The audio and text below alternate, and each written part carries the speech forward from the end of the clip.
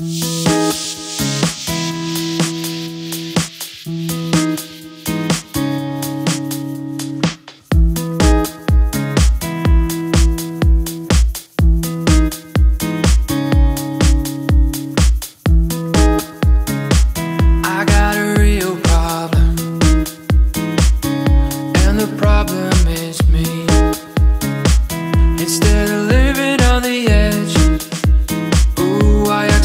cautiously.